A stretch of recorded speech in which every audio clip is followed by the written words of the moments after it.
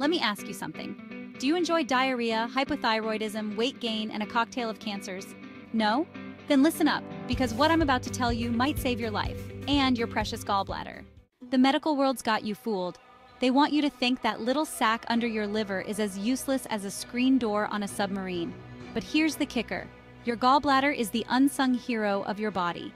It's not just hanging around like a freeloader, it's working overtime, affecting everything from your pancreas to your eyesight.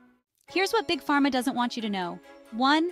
Bile is your internal Lysol, killing germs that could turn your gut into a bacterial playground. 2. It's the bodyguard for your intestines, stopping stomach acid from going rogue. 3. It's your liver's personal cleaning service, flushing out toxins faster than you can say detox tea. 4. No bile. Say hello to high cholesterol, brittle bones, and vision that makes Mr. Magoo look like an eagle. That heart-healthy, low-fat diet people are on? It's a one-way ticket to Gallstone City with stops at Hypothyroidism Junction and Weight Gain Valley. And ladies, think hormone replacement therapy is your fountain of youth? Think again, it's more like a fountain of gallstones. Here's the bottom line. Your gallbladder isn't just some spare part. It's the linchpin of your health. Lose it, and you're in for a world of hurt. Want to know how to keep your gallbladder humming and your health booming?